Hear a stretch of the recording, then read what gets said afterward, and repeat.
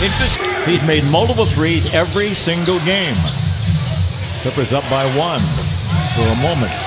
I mean, just for breaking off the weave, to tie the game at seven.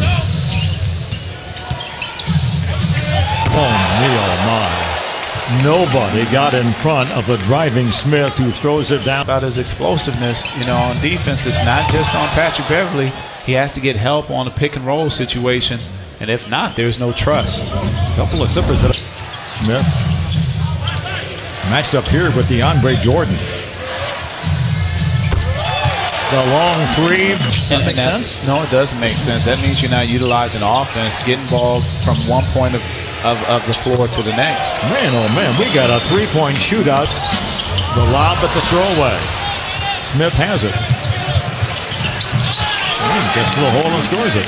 Saw Finley in the building tonight. Does he have a role with the Mavericks now?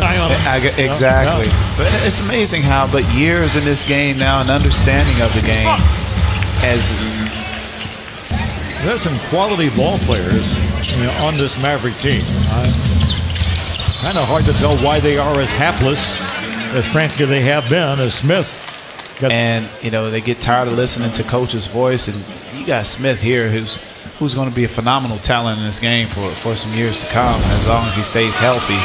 But you know the confines of what's going on.